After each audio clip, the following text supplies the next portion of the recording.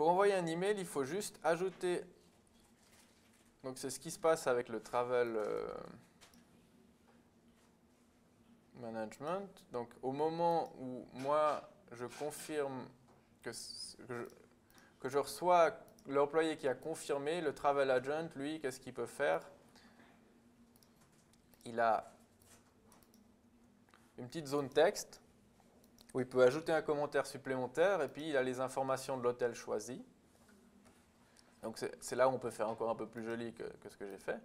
Euh, et puis ça, envoie ce texte plus le commentaire à une certaine adresse email. Donc là on voit que c'est une human task mais qu'il y a aussi un connecteur. Donc on peut aussi imaginer faire euh, séparer les deux, vraiment séparer euh, j'entre un commentaire et puis après la deuxième étape c'est j'envoie le message de manière automatisée à mon agence de voyage.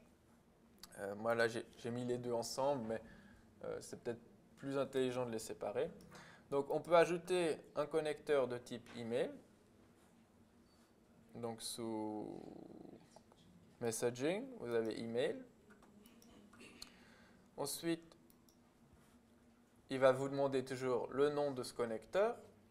Quand est-ce qu'il s'exécute? Là, je veux récupérer une info du champ euh, et puis l'exécuter après.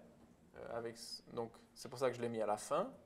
Je mets suivant. Là, les informations pour les différents connecteurs vous sont données sur le wiki. Donc, pour le SMTP, vous mettez smtp.unil.ch, port 465. Puis tant que vous êtes sur le réseau de l'UNI, vous n'avez pas besoin de spécifier quelque chose sous sécurité ou authentification. Il faut juste vérifier que SSL soit activé parce que c'est le port 465. Et puis ça marche. Donc on, passe suivant. Donc chaque connecteur a un peu une fenêtre différente de configuration. Là, euh, visiblement, on peut mettre from to. Euh, soit on le met en dur dans le connecteur ou on, on récupère l'information d'une variable.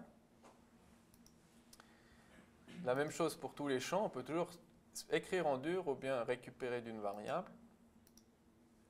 Là, les zones dépendent aussi des connecteurs, visiblement, mais la, plupart du temps, c'est des zones qui sont en fait euh, une grosse, un gros bout de texte, et puis à l'intérieur du bout de texte, on peut écrire des bouts de Groovy tant qu'on le met dans de syntaxe, dollar, euh, crochet, crochet.